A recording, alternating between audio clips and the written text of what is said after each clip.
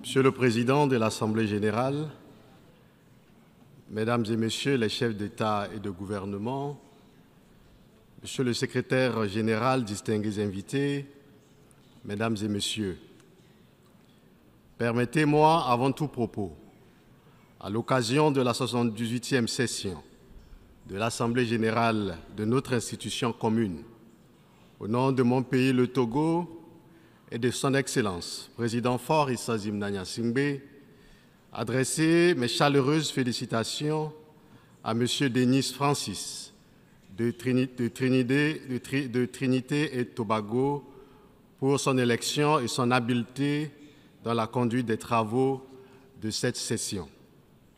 My warm congratulations also go to not only to his predecessor, Mr. Shaba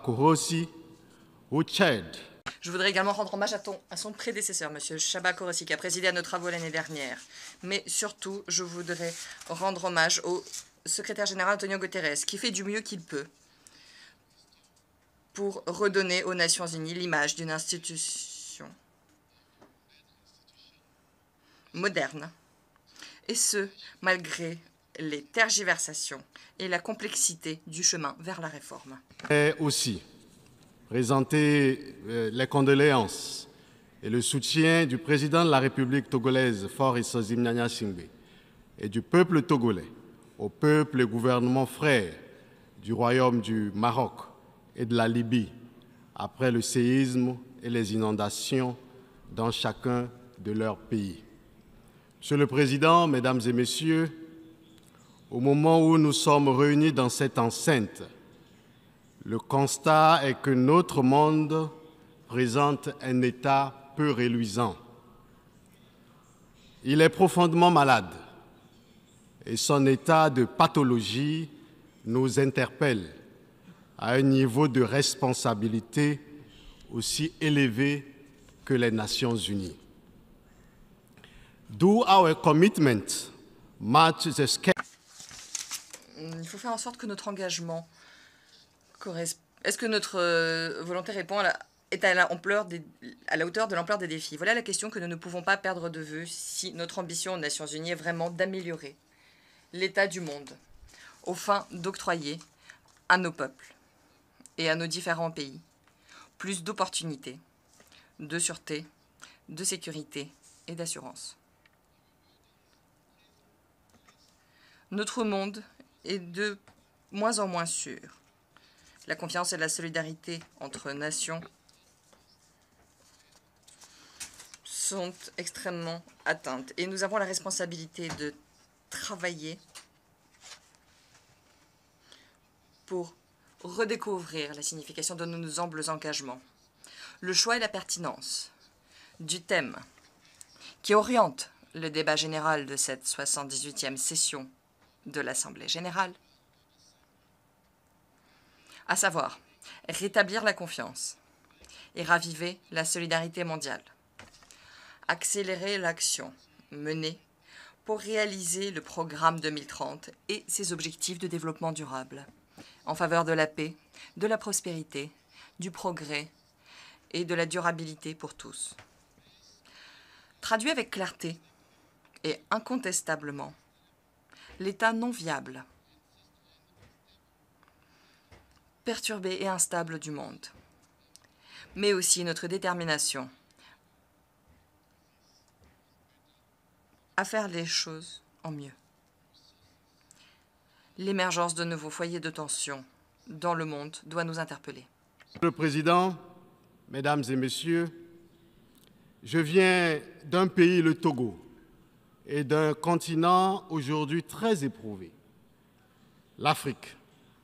Oh, notre Afrique, Afrique euh, des libertés, Afrique euh, de nos pères, oh, Afrique de nos mères, tu es blessé et meurtri. Notre continent, l'Afrique, fait face à une vulnérabilité multisectorielle, vulnérabilité euh, face à une faiblesse de nos revenus, vulnérabilité due au faible niveau de développement vulnérabilité face aux crises sanitaires de grande envergure, vulnérabilité due aux effets du changement climatique, vulnérabilité due à la perturbation des chaînes d'approvisionnement alimentaire mondial, vulnérabilité due à l'envahissement de l'espace cybernétique africain par les cybercriminels et la désinformation, vulnérabilité due à la récurrence des conflits armés et à l'actualité de la guerre, vulnérabilité due à la dissémination du terrorisme international sur le continent qui menace la paix et la stabilité internationale. Le terrorisme s'est développé de façon inquiétante sur notre continent les dernières années au Sahel, dans la région de la Corne de l'Afrique, en Afrique australe et en Afrique et australe. Et l'Afrique risque de devenir un sanctuaire du terrorisme international et de demeurer le maillon le plus faible du système sécuritaire mondial. Nos États de la côte du golfe de Guinée, longtemps épargnés, ont commencé par payer un lourd tribut au terrorisme. Aussi, pour répondre efficacement à la menace terroriste, le Togo a-t-il pris des mesures innovantes et multisectorielles contenues dans son document de stratégie de lutte contre l'extrémisme violent adopté le 5 juillet 2022. Cette stratégie permet de concilier les approches sécuritaires et le développement en alliant à la fois des mesures opérationnelles et légales et des mesures plus souples et plus endogène. Elle prend en compte le programme d'urgence pour la région des savanes, dont le coût global est élevé à plus de 324 millions de, dollars, euh, de l'US dollars pour la réalisation des divers projets à l'horizon 2025 dans les secteurs de l'eau, de l'énergie, de la santé, des infrastructures, de l'éducation et de l'agriculture. C'est ici le lieu d'exprimer la reconnaissance du gouvernement togolais à l'endroit de tous nos partenaires dans la lutte contre le terrorisme et souhaiter un renforcement constant des différents partenariats pour venir à bout de cette nébuleuse terroriste. Face aux nombreuses situations de vulnérabilité et crises qui frappent l'Afrique et qui n'épargnent fondamentalement aucun pays du continent, le gouvernement togolais œuvre au plan national à faire progresser l'agenda développement à travers une ambitieuse feuille de route 2020-2025. Le Togo a réalisé un ensemble de projets prioritaires aux retombées économiquement, socialement et structurellement épanouissante pour nos populations. La santé à travers la mise en place d'une couverture santé universelle, la souveraineté alimentaire, l'inclusion socio-économique et le travail décent pour l'épanouissement de tous et une prospérité partagée restent les chantiers prioritaires de l'action gouvernementale. Monsieur le Président, Mesdames et Messieurs, les efforts du gouvernement visant à faire du Togo un pays ouvert au monde se poursuivent. Il nous tient à cœur de renforcer la stabilité économique, sociale et démocratique qui concourt à l'attrait des investisseurs et qui garantissent la place du Togo en tant que destination privilégiée. Les actions multiformes que nous menons s'arriment aux engagements onusiens et africains des agendas 2030 et 2063 et s'inscrivent dans la quête commune d'un développement durable partagé par tous les membres des Nations Unies. Dans ce programme, une place de choix est accordée à la protection et la préservation de l'environnement. Il s'agit là de la traduction dans les faits de la détermination du Togo à s'unir à l'effort international en matière de lutte contre les effets néfastes des changements climatiques. Ainsi, pour gérer et protéger durablement les écosystèmes marins et côtiers, le gouvernement togolais a axé ses priorités, d'une part, sur la gestion et la protection durable des écosystèmes marins et côtiers, la réglementation de la pêche, la réduction de la vulnérabilité des personnes et des biens aux phénomènes climatiques extrêmes, et d'autre part sur la lutte contre la pêche illicite, non déclarée et non réglementée et la promotion de l'économie bleue. En matière de protection durable de l'environnement marin et côtier, le Togo a mis en place un programme régional de gestion intégrée du littoral et de lutte contre l'érosion côtière. Le Togo ambitionne d'assurer la protection de 90% de ses côtes à l'horizon 2025.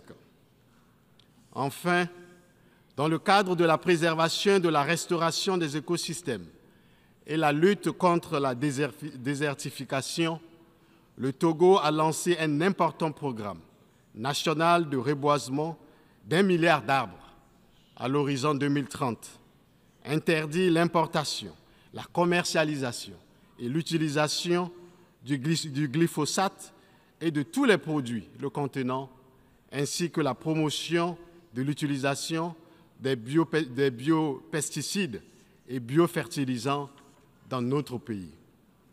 Dans le domaine des énergies renouvelables, des partenariats stratégiques et diversifiés ont été noués pour la fourniture des services fiables, modernes et à, et à moindre coût en milieu rural. Ainsi, les fonds d'accès à l'électricité par tous dénommés Fontinga a été créé avec pour ambition de permettre au Togo de garantir à l'horizon 2030 un accès universel à des services énergétiques fiables, durables, modernes et à un coût abordable. À travers le projet CISO, des kits d'énergie solaire sont fournis aux populations rurales vulnérables sur toute l'étendue du territoire national, tandis que le gouvernement poursuit inlassablement l'installation de centrales photovoltaïques et de mini-centrales solaires, contribuant ainsi au renforcement de la part contributive de l'énergie renouvelable dans la politique de gestion énergétique du Togo. Monsieur le Président, ainsi nous tenons à saluer les engagements pris et annoncés et, annonces faites lors de la COP 27, notamment la création d'un fonds spécifique sur le financement des pertes et préjudices au profit des pays vulnérables durement touchés par les catastrophes climatiques. Il s'agit d'une avancée majeure dans le cadre de la justice climatique tant exigée par les pays en développement.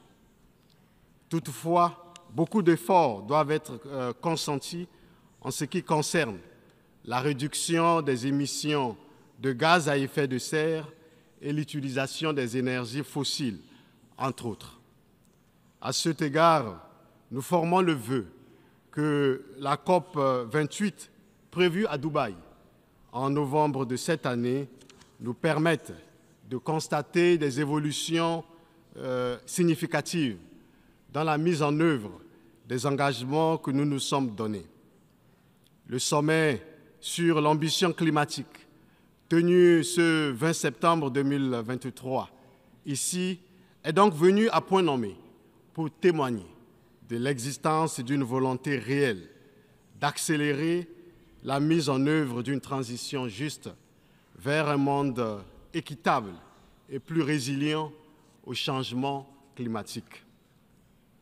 Monsieur le Président, Mesdames et Messieurs, dans un environnement continental aux défis pléthoriques et caractérisée par l'expansion du terrorisme international et l'émergence de nouvelles zones de tension, l'Afrique cherche sa voie et le Togo soutient les efforts de paix en Afrique.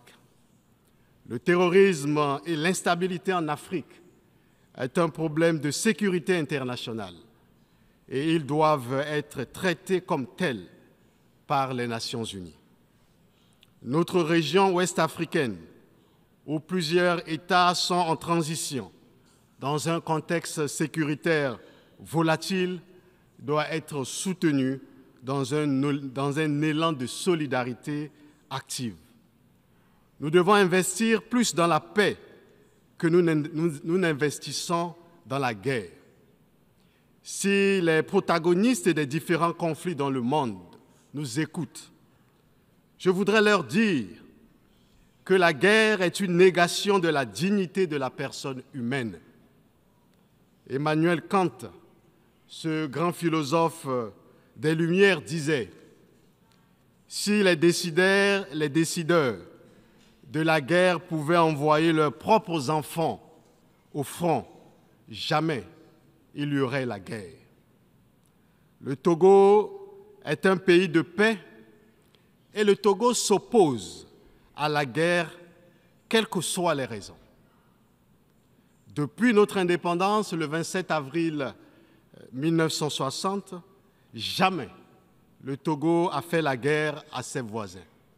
Jamais le Togo a agressé ses voisins ou un quelconque pays. Jamais le Togo a servi de base arrière pour une quelconque agression contre un pays frère. Le Togo est un pays de paix. La paix est dans l'ADN du peuple togolais. Le Togo a toujours été un pays de médiation qui favorise le dialogue, la négociation et l'entente entre les peuples et les gouvernements. Le 6 janvier de cette année, 49 soldats ivoiriens ont été libérés grâce à la médiation du président de la République togolaise, le président Faure Sozimnia Nassingbe, mettant fin à la tension entre les gouvernements de Côte d'Ivoire et du Mali. Le Togo a accueilli sur sa terre les différents pour parler de paix. Et nous pouvons les citer. Nous avions le Tchad dans les années 1982 la Sierra Leone en 1991, le Libéria en guerre en 1991, la Côte d'Ivoire dans les années 2000, etc., etc.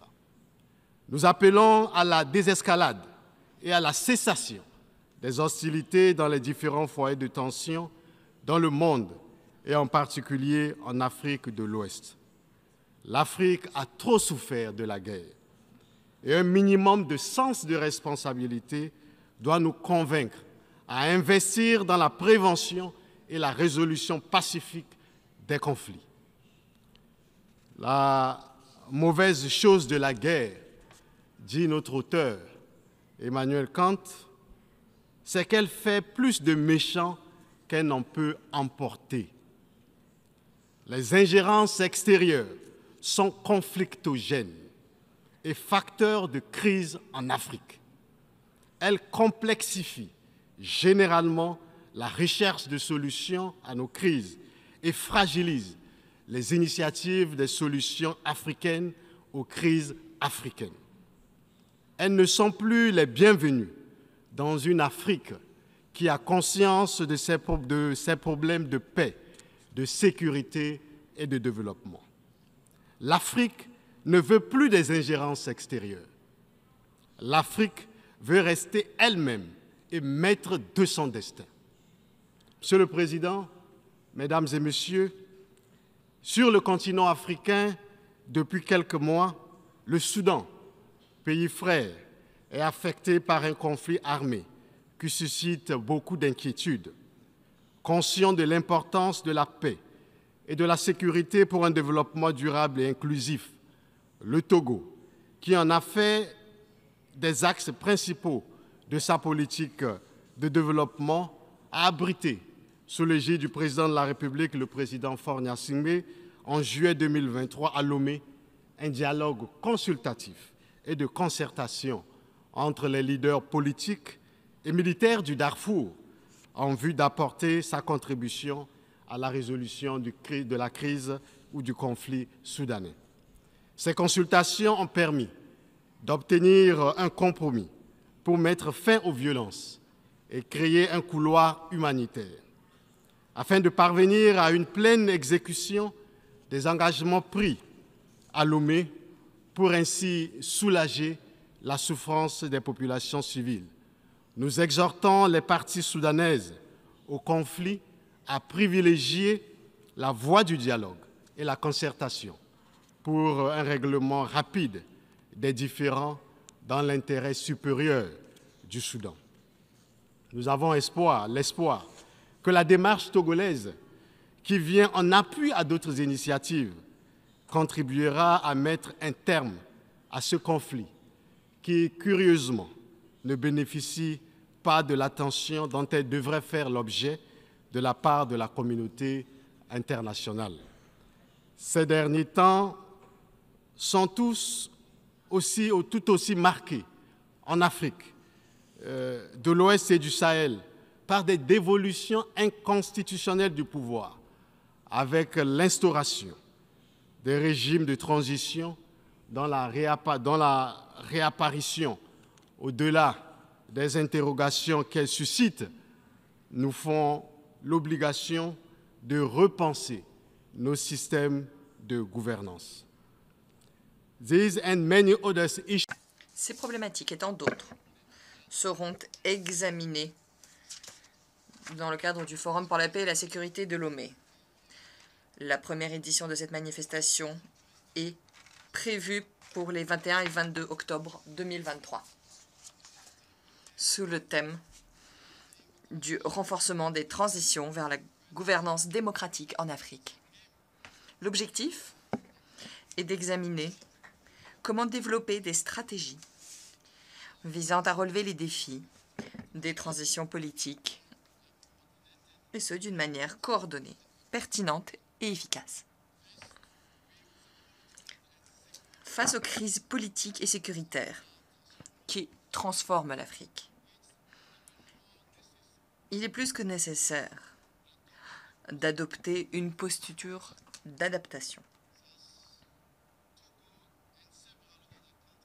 Togo et certains autres pays ont décidé, donc, à Lomé, en mai 2023, de créer l'Alliance politique africaine, qui se veut un cadre de concertation, de dialogue politique et d'action commune, fondé sur des liens historiques de fraternité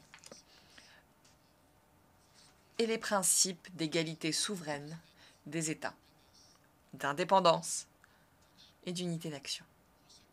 Forme du Conseil euh, de sécurité des Nations Unies. Nous ne voulons plus revenir dessus. L'Afrique, nous l'avions déjà dit, ne peut plus rester en marge de l'instance à laquelle il revient d'assurer la paix et la sécurité internationale. Le Conseil de sécurité ne peut plus demeurer une euh, simple affaire des vainqueurs et leurs alliés du deuxième euh, conflit mondial. Rien ne peut plus justifier le maintien du statu quo. La structuration idéologique et institutionnelle du monde d'après-guerre est désormais obsolète. Le statu quo ne peut plus continuer. Monsieur le Président, Mesdames et Messieurs, nous sommes à une nouvelle ère des relations de l'Afrique et du Sud global avec le monde. Et l'Afrique n'entend plus dans la nouvelle dynamique rester dans l'ombre d'une quelconque grande puissance. Le temps où d'autres entités prétendaient parler au nom d'une Afrique qu'elles n'écoutent même pas ici, aux Nations Unies, et sur la scène internationale révolue.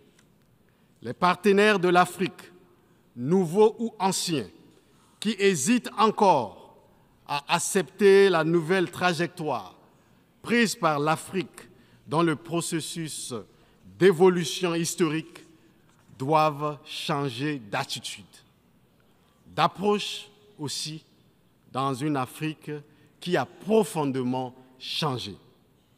Ces dernières décennies, notre monde a subi de grandes révolutions silencieuses dont la signification profonde réside dans le renouveau qualitatif qu'elles euh, induisent dans les relations entre les nations et qui les accompagnent dans leur propre histoire. La réalité du monde, c'est qu'il n'y a plus de centre de gravité monopolistique. Le centre du monde est désormais ici et nulle part ailleurs. Personne n'est le centre du monde. En tout état de cause, ce qui est clair et que nous voudrions rappeler ici, c'est que l'Afrique regarde désormais ses relations avec les grandes puissances par rapport à ses propres intérêts.